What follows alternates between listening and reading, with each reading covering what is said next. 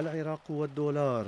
حكاية لا تنتهي فصولها مع استنزاف هذه العملة الأجنبية منه بشكل لا يصدق ومساهمة ذلك بانخفاض وتدهور الدينار العراقي الذي أصبح السؤال عن سعره محل تندر لدى العراقيين الذين يعانون أساساً من أزمة مالية بسبب فشل السياسات الحكومية الاقتصادية. موقع إيران انترناشونال أكد أن إيران والميليشيات الموالية لها هي المسؤولة عن عمليات تهريب ملايين الدولارات من العراق إلى إيران عبر أكثر من خمسة آلاف شركة وهمية أسسوها ومكاتب صرافة تابعة لهم فضلا عن شراء بطاقات إلكترونية للتغطية عن عمليات السحب للمبالغ المراد تهريبها. ويضيف الموقع الإيراني أن البنك المركزي العراقي على علم بهذه المعاملات وأن احتمال فرض عقوبات أمريكية جديدة على البنوك العراقية بات مرتفعا.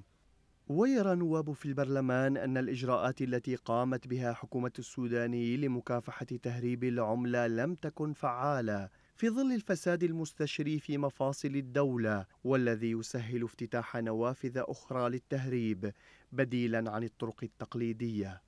أكثر من 165 مليون دولار جرى تحويلها من إيران إلى العراق في أقل من شهر في عملية تبادل واحدة فقط بحسب تقارير صحفية. وهو الأمر الذي تسبب في فتح أفعال مماثلة لعشرات من عمليات التبادل الأخرى.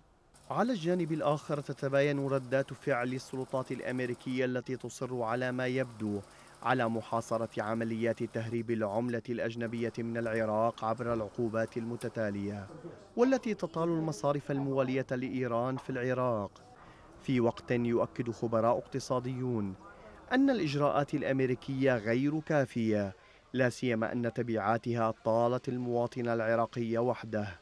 ذلك في ظل عدم الضغط على حكومة السوداني المنبثقة من الإطار التنسيقي والذي يصر على اتباع ذات النهج الداعم لطهران ولو على حساب دفع الاقتصاد العراقي إلى الهاوية.